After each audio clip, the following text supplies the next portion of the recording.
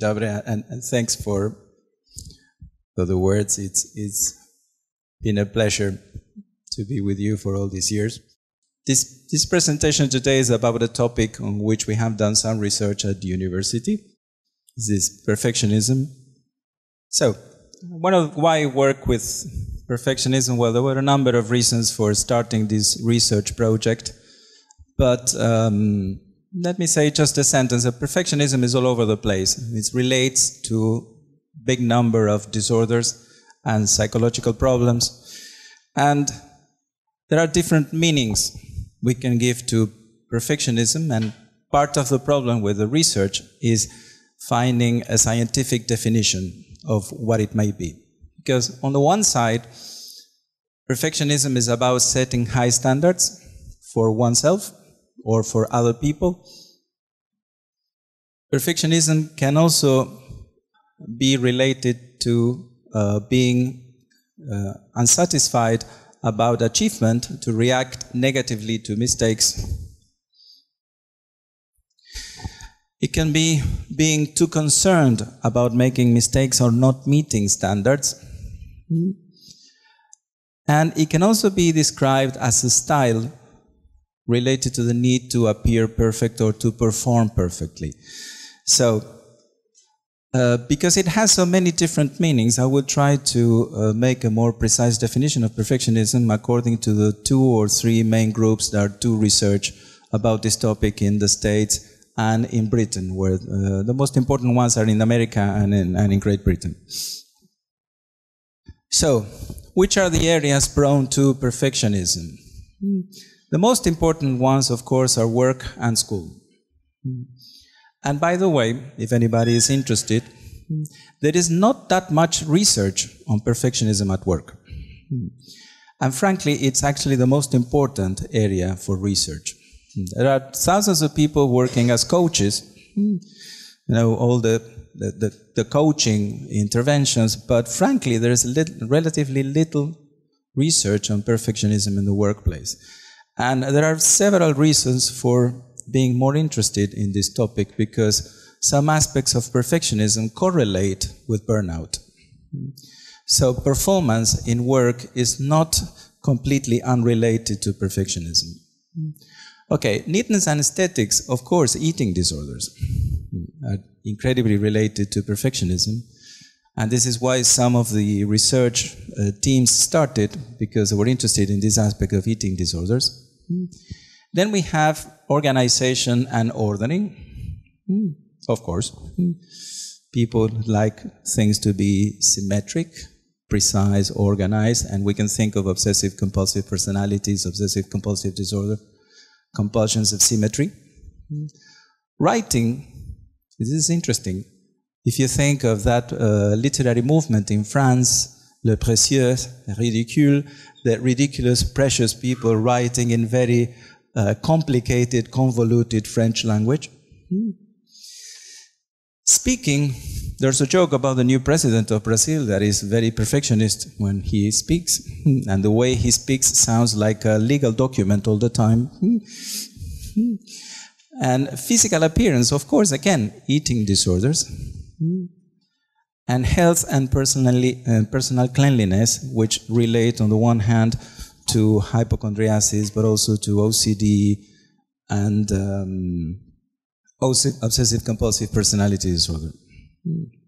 So, there I will present two definitions because there are slight differences between the research groups.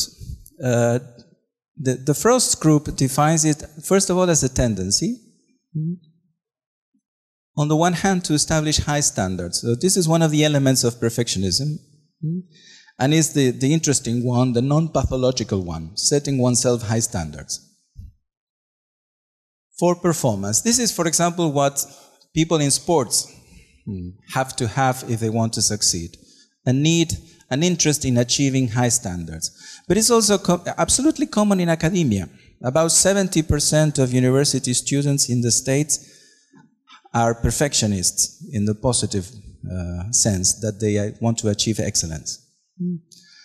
Now, the problematic aspect of perfectionism has to do with being excessively critical of one's performance.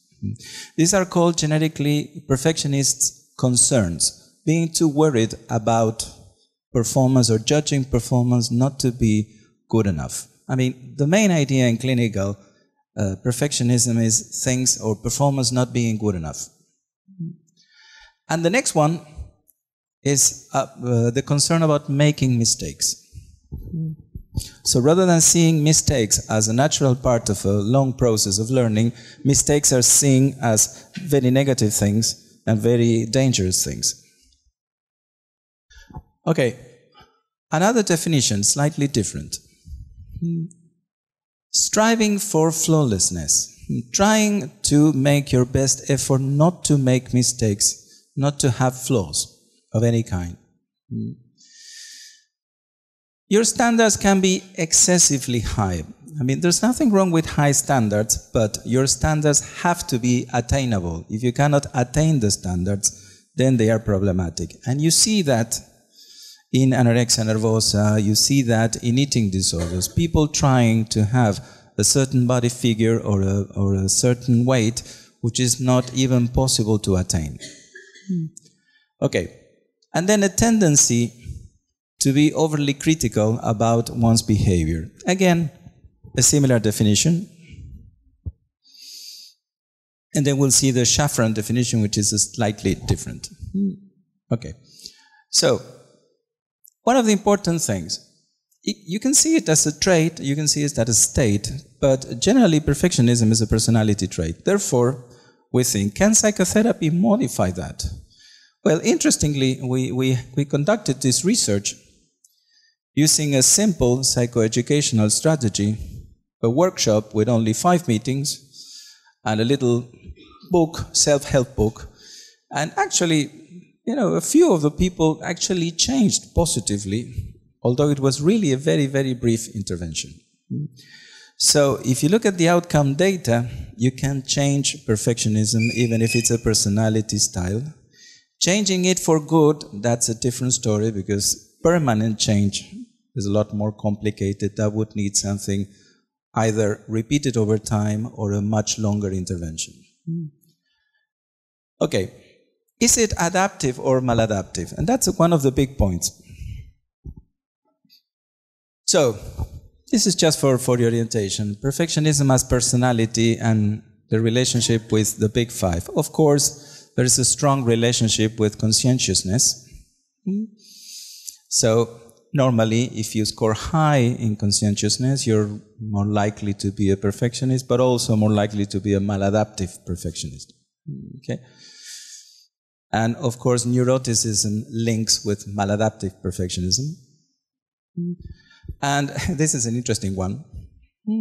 Because normally, when we think about perfectionism, we think about people who are trying hard to be perfect. But Perfectionism may also involve what you expect from other people.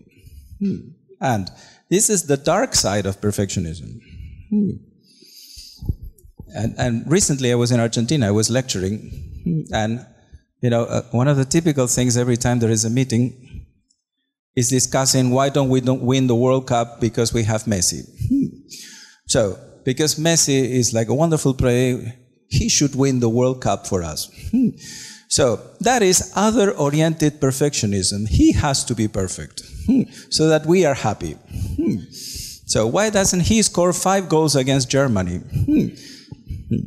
So that's the dark side of, of perfectionism. It's not just about you wanting to be perfect, but expecting other people to be perfect. So one of the uh, persons in my team, one of my doctoral uh, students, she has done research on couples and perfectionism. This is called romantic perfectionism. Hmm. You have to be perfect if you expect me to keep on loving you. Hmm. That is very interesting. Hmm. Because the definition of a perfect partner can be quite changing. So, the, the point here is perfectionism is not just cluster C, it's not just about being obsessive compulsive, okay? It can involve many other things, especially a lot of cluster B. Okay, the common negative effects. The, the third one is quite interesting. People who are maladaptive perfectionists, who have clinical perfectionism, tend to have these narrow interests. Think of somebody with anorexia nervosa. Hmm. 90% of the time is related to issues of food, eating, the weight, the body mass index. Hmm.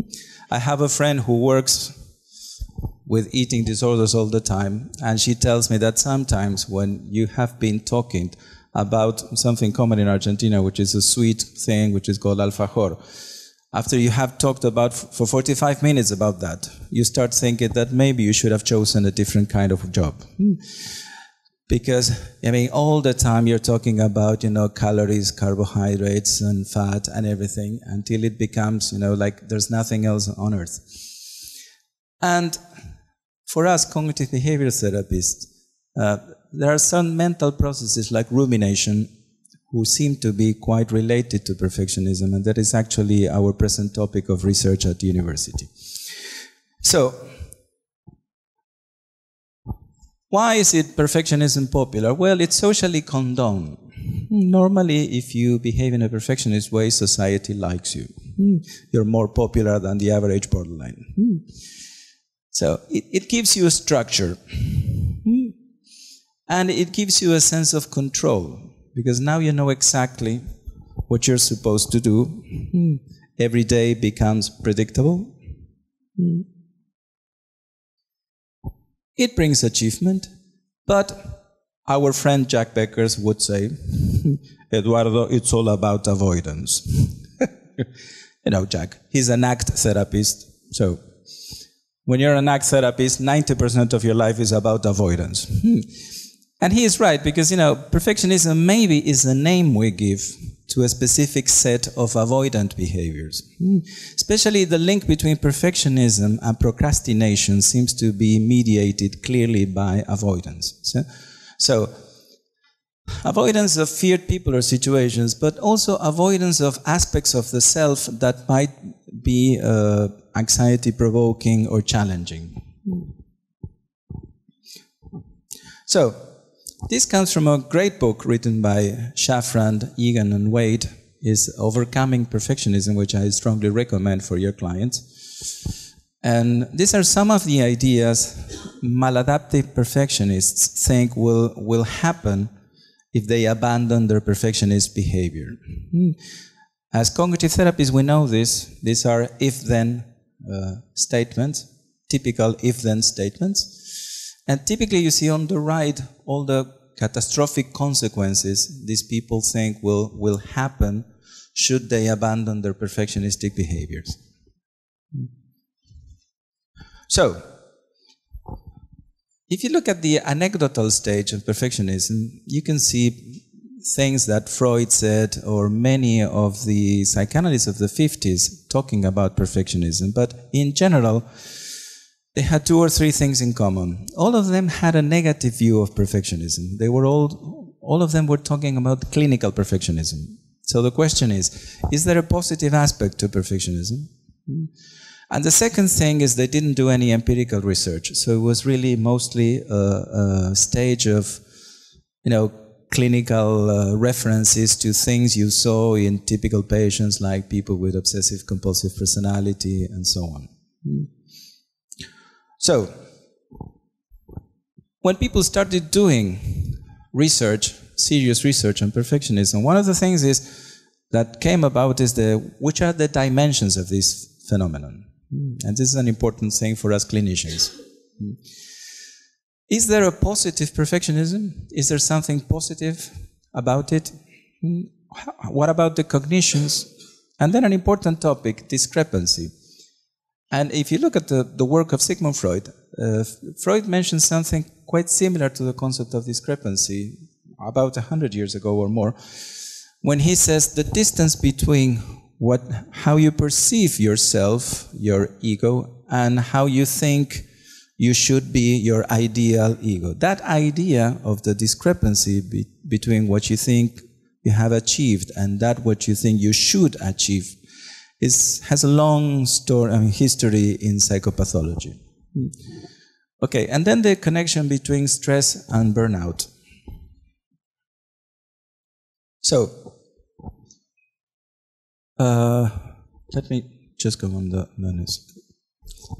So presently, everybody thinks perfectionism is multidimensional in the sense that it's not just negative, there are positive aspects about perfectionism. And this is the definition. The, sorry, there's a mistake. There is adaptive, but you can't be perfect all the time. So, adaptive perfectionism is about having, on the one hand, high standards, and that's okay. If you're an elite sportsman, you have to have high standards. If you're Djokovic, if you are Rafael Nadal, you're expected to have those high standards. Hmm. Now, even when they don't meet the standards, they still see themselves as being successful. You, you, you, frequently see these top tennis players saying, I didn't win today, I was playing okay, but he was playing so well that, you know, I just did my thing. Recently, Rafael Nadal said something about his match with Roger Federer, something along the lines of, of this. So they can still see themselves as successful even when they don't meet the standards. Hmm. And also, the other difference is that they see these standards as something that they want to achieve because they want to do that. They don't see them as an outside imposition. So it's very different from what you see in people with eating disorders. People with eating disorders, they, they, they want to be slim because they think society expects them to be slim. In this case, is people feel intrinsically motivated to achieve these standards. Okay? So, but the ones we normally work with in the office are the top ones. Hmm. So, high standards, which are not seen as your own choice, but something that you should achieve. So, shoulds are very important. Hmm. And basically, fear of making mistakes and a tendency to be harshly self critical. If you think of compassion focused therapy, uh, all the work of Paul Gilbert, and self compassion. Self compassion has a strong link with perfectionism. Hmm. So, the more self compassionate you become, the less maladaptive your perfectionism will be. So, there are three most important groups. You could probably include as well Shafran's model there. And this group suggests there are three dimensions self oriented perfectionism, other oriented perfectionism, and socially prescribed perfectionism. Definition is quite simple. I have mentioned the first two. Socially prescribed, perceived need to attain standards and expectations prescribed by significant others to win approval. Mm. So you think it's your family, your society, your group of peers mm. and this is quite important with teenagers. Mm. The sense that it's not just what they think or what their standards are, but what they perceive the standards of the group to be. And in Argentina, we have these huge problems with eating disorders. To give an idea, about a third of the population of teenagers and young adults have lots of risk factors for eating disorders. And so we're talking about uh, you know this huge problem. Okay, this other group suggests um, these six dimensions: concern about mistakes, personal standards, parental expectations. You know, this is a bit ambivalent. Some of the research suggests that parental expectations play a role. Other you know, publications do not support the idea that parental expectations are so closely related to perfectionism, but it's there. Parental criticism, and this would be important if you think of avoidant personality disorder. Hmm. Doubts about actions, OCD, obsessive compulsive personality, and finally, organization. Hmm. And that is Frost, by the way, looking nice in his jacket. Hmm. Okay. Robert Slaney's, this is the, the, the simplest model of all. He says there are three subscales. First of all is high standards. It doesn't matter whether you're a adaptive or maladaptive perfectionism, you will score high in that subscale. The second one is order, which is the less relevant, and discrepancy is interesting because this is the one that indicates psychopathology. If you have a high discrepancy, then you have some kind of psychopathology. Therefore, and this is the interesting thing, if you measure discrepancy, it becomes a very sensitive way of testing out the efficacy of your intervention. Hmm. So if you do a protocol for treating perfectionism, hmm, then that is a sensitive way of measuring whether it's working or not. Hmm. And they created this scale we adapted in Argentina, has a nice name, the almost perfect scale, revised.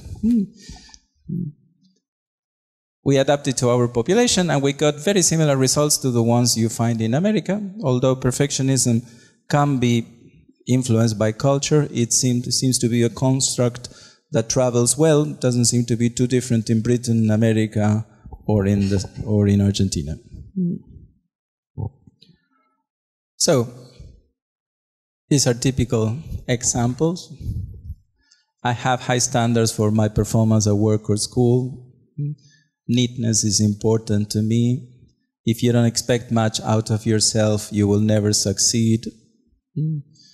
My best just never seems to be good enough. Hmm.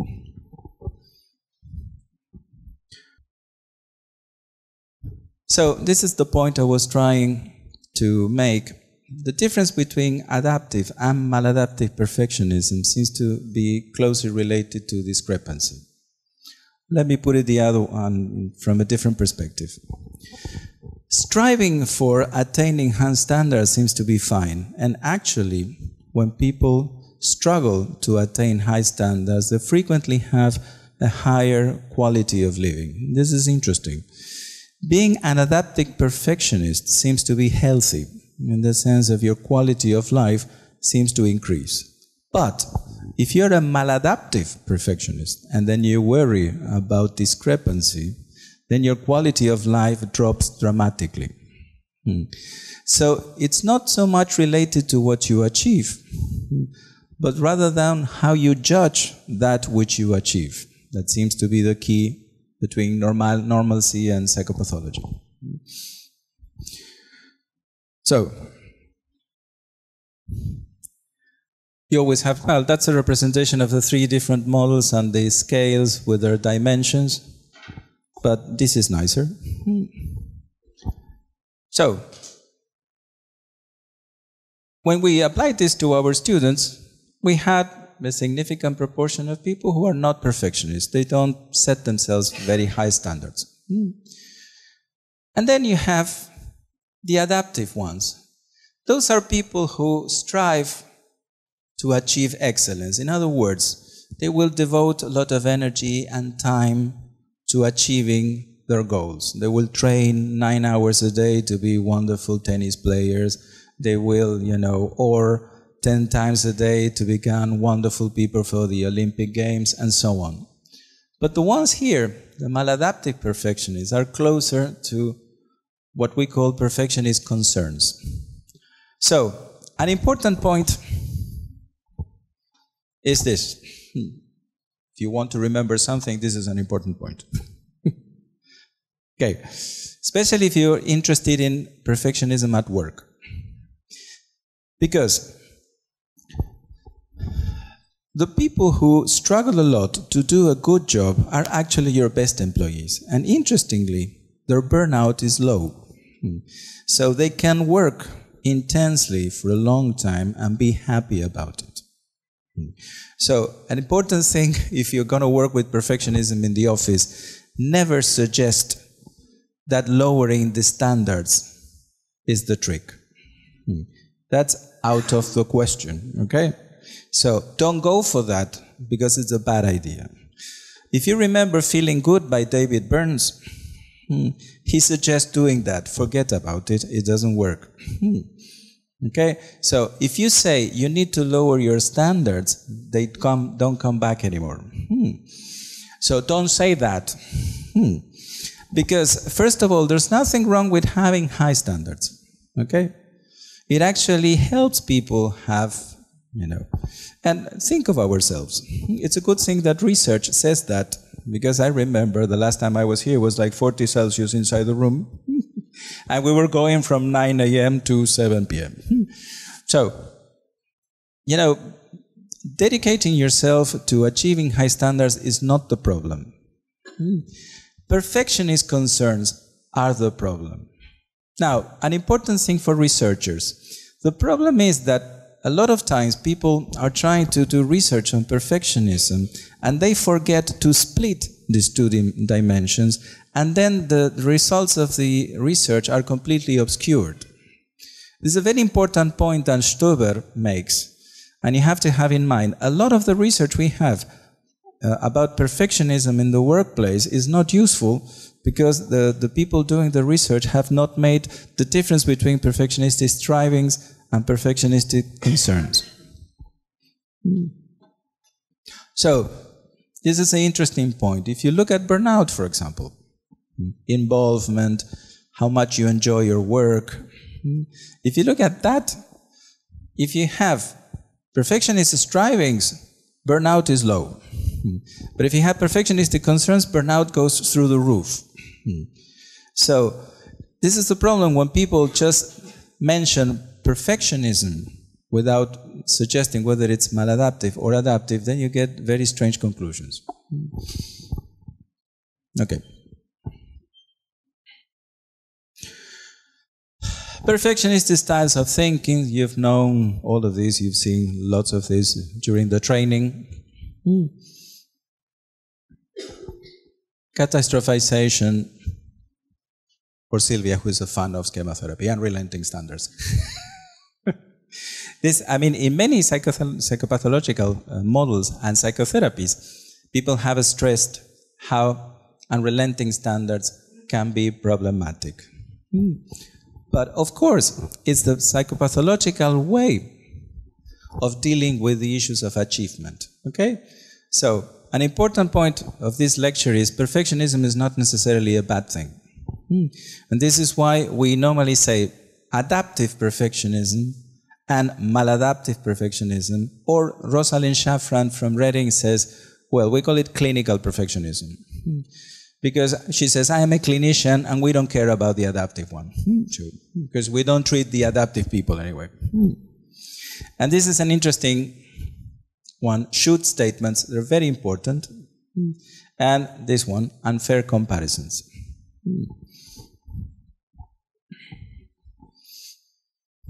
Again, some of these you have seen through your training, hmm, not knowing when to let go, hmm, and hoarding and avoidance, two typical perfectionist behaviors. How does it develop? Well, this is, uh, you know, a number of factors childhood factors, temperament, attachment, parental factors, hmm, environmental pressures. Culture has a lot to do with it. For example, in Argentina, we have these huge problems with eating disorders. Every time I come here, I always mention to you that they start opening these sandwiches and everything. In Argentina, women would be, you know, completely ashamed or afraid of being judged by other people for eating a sandwich in front of them. So, the pressure to be perfect, this would lead to either no perfectionism or perfectionism related to other people or to yourself. Now, this is an interesting model Rosalind Shafran has developed for how is clinical perfectionism maintained. Hmm? So she says, the first, the, the most important thing in clinical perfectionism is you define your self-worth according to performance. Hmm? So, you are, your self-concept depends on what you achieve. So, therefore you have inflexible standards. And these standards combine with cognitive biases and performance related behavior, and they may generate three different situations. This one is very nice. The problem with clinical perfectionism is that even when they attain the standards, they think that reaching the standards means that the standards were too low. So they raise the bar. And this is a typical behavior. Okay? So if I have achieved that goal, it means the goal was not difficult enough. Therefore, again, I have been too lazy. I have set myself to low standards. I should be better next time. Hmm. If they fail to attain the standard, then they would typically indulge in self criticism and in counterproductive behaviors, or they may even choose to avoid attempting to attain standards. And this seems to be the typical pathway that connects perfectionism with procrastination. So, the higher the standard, the more likely people will procrastinate. I have a very nice client. He's 23, he's studying computer engineering. And when I started asking him, you know, because he's sort of delayed in his studies, very intelligent man. So I asked him, okay, I need, how about making a little, you know, diary, how you use your time and what your goals for this term are. So the guy wanted to do computer engineering, which is already very challenging, you know, kind of studies. Hmm. He's also a member of the bureau that runs the department because he represents the, the students in the, the body of government. Hmm. He's also engaged in a group of people who do critics of, you know, critics of cinema, so they have to watch the movies and get together for criticism. He also started a band, a rock band. Hmm. he also has to meet, you know, his girlfriend and everything. So these are the typical things, you know, they, they have such high standards that they don't have the, simply don't have the time to attain all of those. Therefore, rather than delegating or giving up on standards, they just postpone things. So, procrastination can be related to perfectionism. It's not always related to perfectionism, but it's a, one of the varieties of procrastination that you see. And this, of course, in the workplace is very important because it means not achieving things and having lots of employees who don't understand that good enough is better than perfect but late. Hmm. So,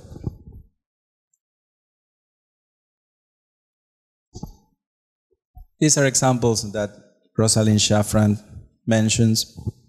Hmm. So, what is the, one of the important points?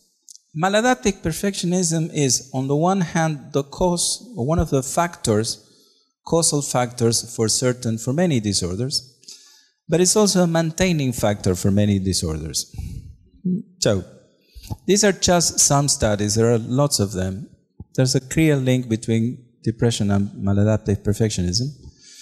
GAD, hmm? people with generalized anxiety disorder are you know, typical representatives of clinical perfectionism. Because not doing things perfectly is too dangerous. Who knows what might happen if you don't bring up your children perfectly? People with social anxiety disorder, if you don't behave perfectly, then who knows what may happen? You will be criticized. Same thing with OCD, eating disorders, suicidal ideation, stress, and burnout.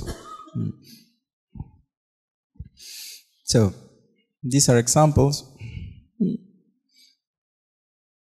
For example, in social anxiety disorder, you typically see the fear of making social mistakes, and that's about action, how to act in social performance, and thinking too much about it in order to avoid negative consequences.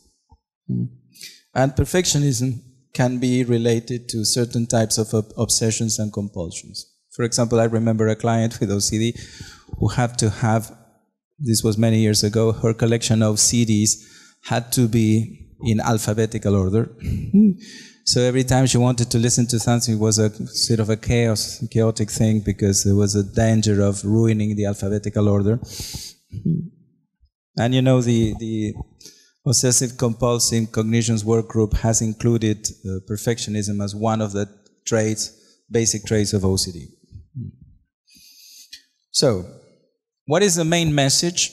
Treating maladaptive perfectionism may contribute to the treatment of the disorder in which it plays a maintaining role or a causal role. Classical example, you may remember Christopher Fairburn's treatment for eating disorders. And in the long version, in the 40 week version, you have a module for clinical perfectionism that was designed by Rosalind Shafran, the person I mentioned before. Mm. But also, if you think of what would the value of treating perfectionism be, because it's a risk factor as well, it can also be a way of preventing relapse. So, there are many reasons why we would like to treat perfectionism. For example, with depression, it can be a way of protecting people for relapse in depression. So, important point perfectionism is a transdiagnostic process. Hmm. It is not a diagnosis in itself, but it's a phenomenon that you see in many disorders. Hmm. So, there are four points. Hmm. The first one is the one I already mentioned. Hmm. Perfectionism is also interesting for explaining comorbidity, how two disorders are related. Hmm. It can be explanatory factor for the maintenance of a variety of psychopathologies. Hmm. And the good news is that treating perfectionism reduces a number of psychopathologies. So rather than triggering, uh, targeting, sorry, the DSM disorders, we can target perfectionism as a transdiagnostic process and then expect results that may affect different psychopathologies. So these are examples of, you know, transdiagnostic roles of, of perfectionism. See, I must be socially perfect, I must check perfectly, I must attain very high goals at work to be good enough. So, for example, as a consequence, we will see self focused attention on social performance. So, self focused attention, by the way, is a transdiagnostic construct.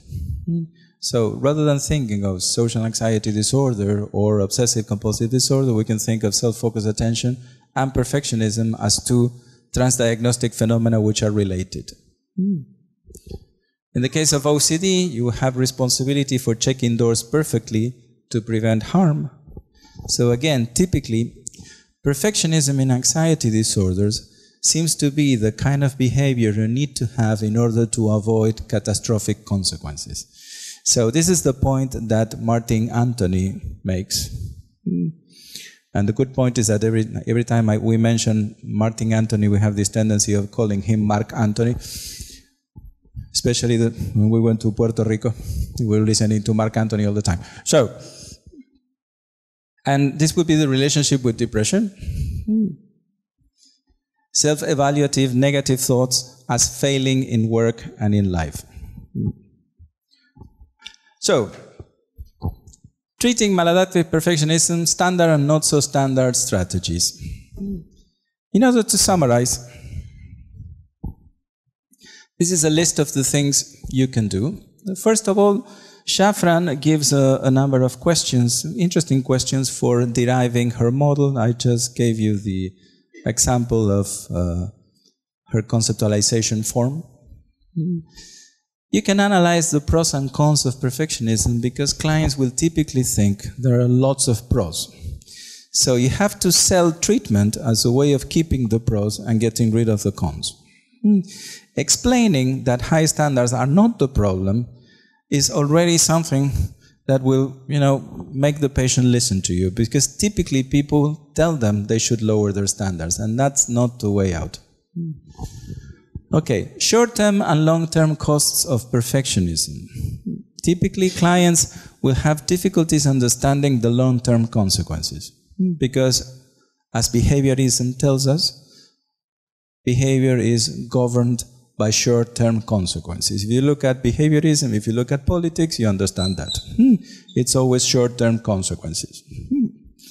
So, expand self evaluation to other areas of life. When I was writing this one, I was remembering an episode of Big Bang Theory. in which Sheldon, the incredibly bright doctor in physics, challenged this very attractive woman who works in the Cheesecake Factory to some sort of trivial pursuit, a game about who knows the most, and she starts saying, okay, how about rock bands? Hmm. Of course, he doesn't have a clue about rock and roll bands. So this is an interesting point. You're narrowing your self-evaluation to something very specific. Hmm. Surveys, hmm, behavioral experiment, all or none beliefs tested out by behavioral experiments. This is an interesting one, identifying shoots.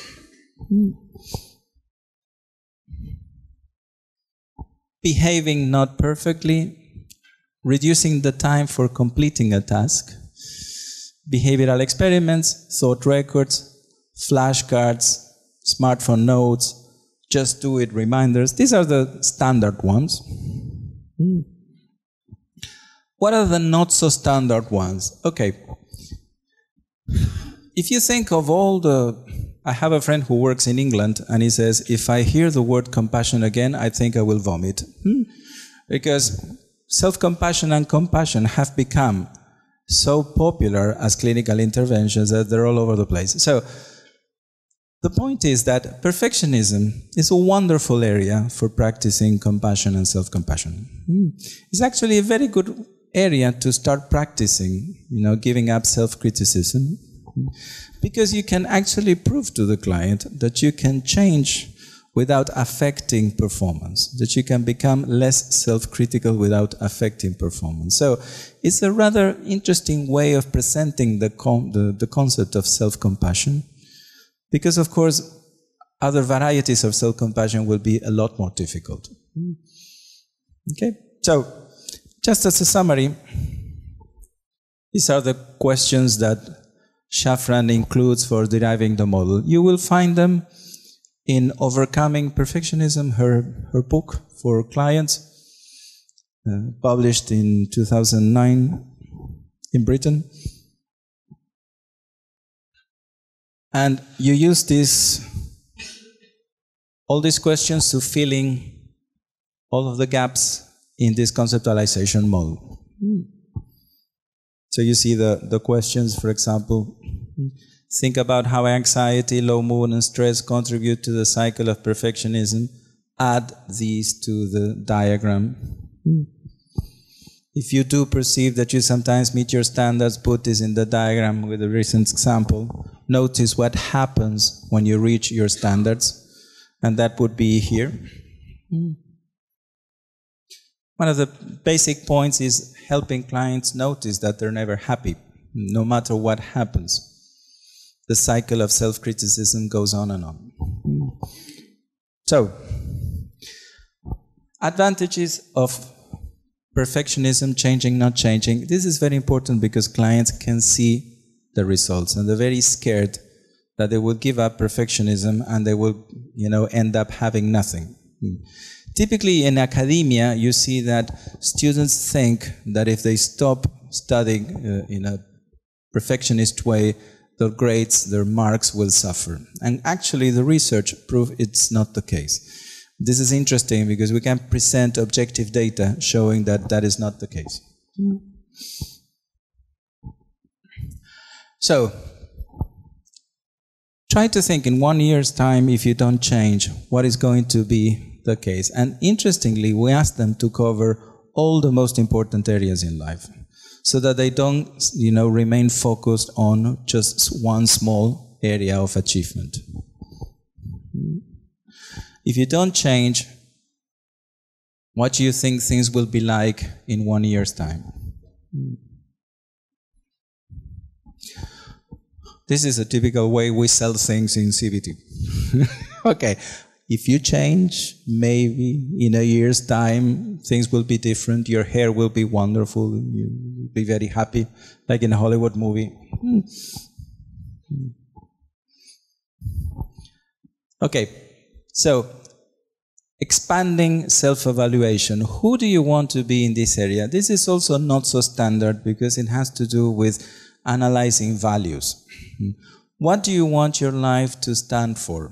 People who are very perfectionists, the clinical perfectionists, they, they are too focused on achievement. And as you know, goals you can achieve, values you can never achieve. Hmm. So, but this is a good idea that comes from modern behavior therapy. If you ask clients to think about values, which are the general directions in life, because you cannot achieve them, you can achieve goals, but you cannot achieve your values, that helps with understanding the difference between doing something right away because you need to do it perfectly and taking the long term perspective. The good thing about values is they force people to take the long term perspective. So, these are typical examples. We see this a lot in, in clients with OCD. I must be 100% sure that the gas is perfectly closed. I used to have a client with OCD that was checking the stove so frequently that he actually damaged the thing. And it's typical OCD. It ended being dangerous because then it, you could have a leak because you were ruining the valve. Okay. Appearance, hygiene, artistic performance, musical performance. Hmm. This is an interesting one um, I have a friend who used to have this recording studio, and the, the sound engineers would have this trick. When someone had to sing, you know, typically you record the, the music first and then singers sing on top of the recordings. So typically when you turn on the red light, they get very anxious and performance suffers. It's not very nice. So sound engineers would typically say to them, okay, just do it, you know, just for the sake of seeing, you know, noticing the way it sounds and to take levels and everything, but just do it, you know, for the sake of noticing volume. And then they recorded that. And often, those recordings were much nicer than the ones you got when you told people, okay, right now we need to record this perfectly. Hmm. So, musical performance, sporting performance, academic performance, all typical areas of perfectionism. Hmm. Okay. Intimate relationships, that's a very complex topic, but it's a wonderful thing analyzing expectations of people of their partner's behavior. Hmm. The, study, the, the results that we got in the study are in some ways mixed prediction was that clinical perfectionists would have much much more uh, maladjustment or disadjustment in uh, in their partners. It was not quite that uh, much, but still you see that clinical perfectionism, especially perfectionism oriented to the other person, uh, damages the intimate relationship, the, the, the quality of the relationship.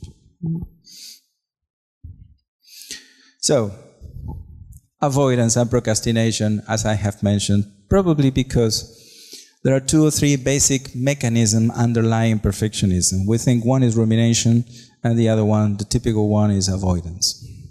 So if you want to think of this, Jacques Beckers and, and an ACT therapist will say, okay, perfectionism is just a name. But yes, it is a name, but it's a useful name. Hmm.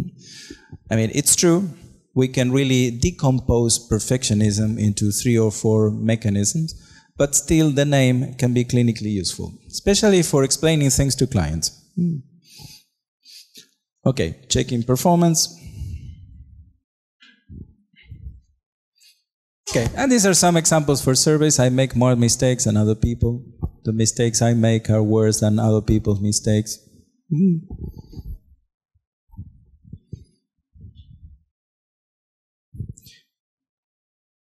And something to, to close the presentation.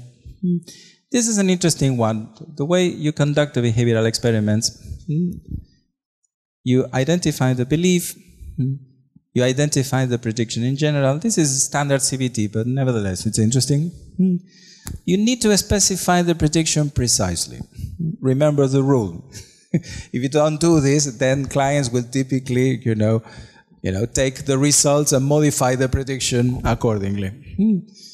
And reflect on the results and revise the belief. Hmm.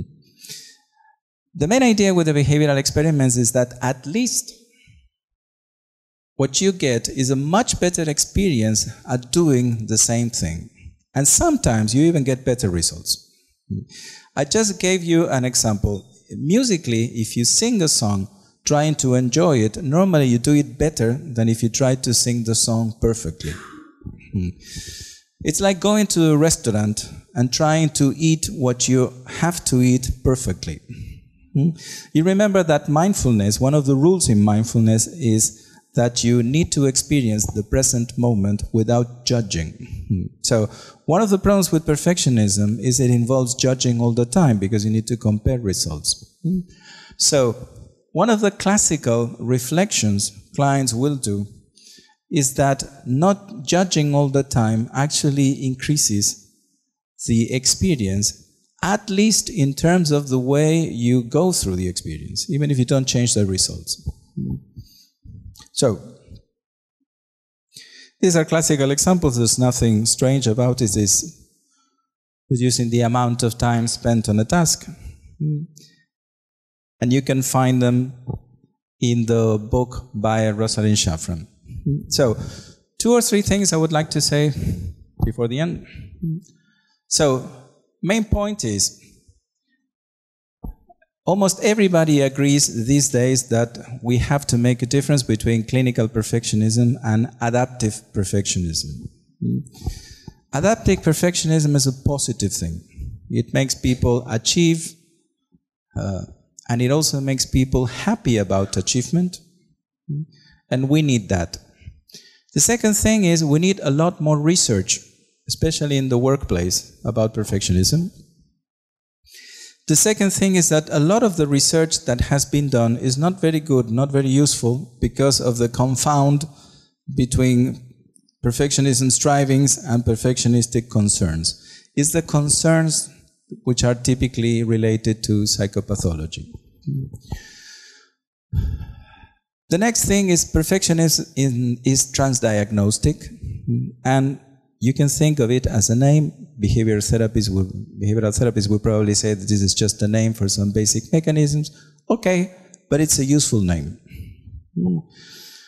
And the next thing is the word perfectionism in general has a negative undertone, so you need to explain to clients the difference between adaptive and maladaptive perfectionism.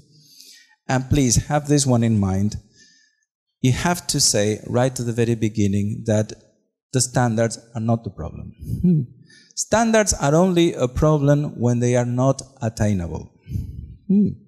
So, if your client wants to attain something impossible, then what you have to say, the problem is not that the standard is high, the standard is not rational. Hmm.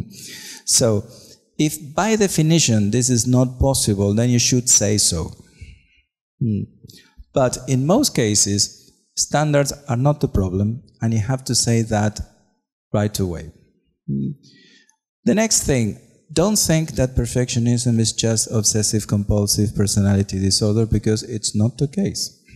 Borderlines can be very perfectionistic because borderlines typically self invalidate. So, one of the typical forms of self invalidation is setting yourself very high standards. You know, one of the classical things they do is I'm going to start this business. I have no experience, I have no capital, but of course I can do it because it's very easy. Hmm. I always quote John Lennon when I talk about borderlines.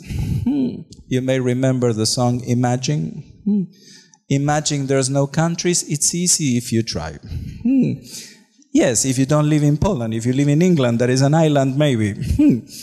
But this is a, that's a classical borderline idea that is just a matter of trying. That is very common in clinical perfectionism. So that's the other point. You will see perfectionism in many people who don't have obsessive compulsive personalities.